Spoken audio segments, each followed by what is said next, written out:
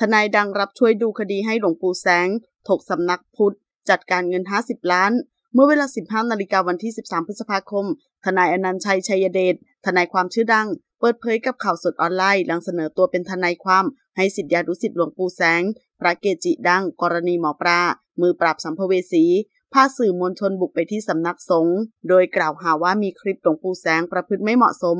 ทนายอนันต์ชัยกล่าวว่า ตนเห็นคลิปข่าวกลุ่มบุคคลและสื่อ บุกเข้าไปหาหลวงปู่แสง พร้อมตั้งคำถามไม่เหมาะสม ทั้งที่หลวงปู่ป่วยเป็นอัลไซเมอร์ ไม่สามารถช่วยเหลือตัวเองได้ ก็รู้สึกสะเทือนใจ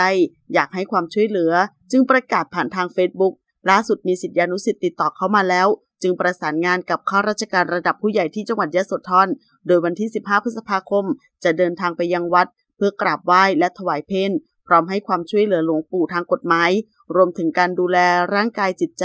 ในฐานะที่ท่านเป็นบุคคลไร้ความสามารถ จึงต้องมีผู้อนุบาล หรือโยมอุปถาคอยดูแลเพื่อไม่ให้เกิดเหตุการณ์นี้อีก ทนายอนันชัยยังกล่าวว่ายังมีประเด็นเรื่องเงิน 50 ล้านบาท ก็จะปรึกษากับสำนักงงานพระพุทธศาสนา ว่าจะจัดการอย่างไร เพราะขณะที่ท่านยังมีชีวิตอยู่ เงินก้อนนี้ยังตกเป็นของท่าน สามารถนำไปใช้สอยได้ โดยมีผู้อนุบาลดูแล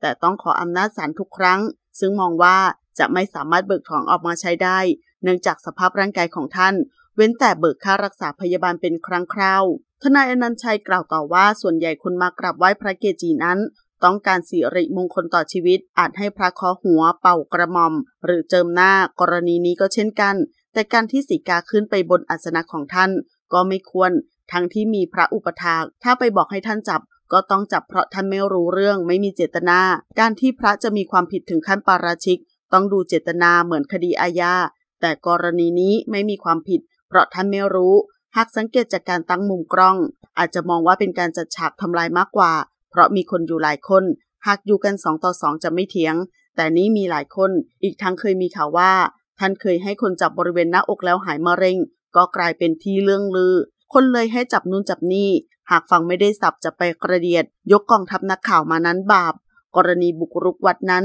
ต้องดูสถานที่ว่าเป็นที่ระโหฐาน หรือที่ส่วนบุคคลหรือไม่ และต้องดูเจตนา หากมีการจับจ้องจะเล่นงานพระ มีการถ่ายวิดีโอจนวัดเกิดความเสียหาย วัดเป็นนิติบุคคลที่สามารถฟ้องร้องข้อหาหมิ่นประมาทได้ ซึ่งกำลังตรวจสอบอยู่ ขอขอบคุณข้อมูลจากข่าวสดขอบคุณค่ะ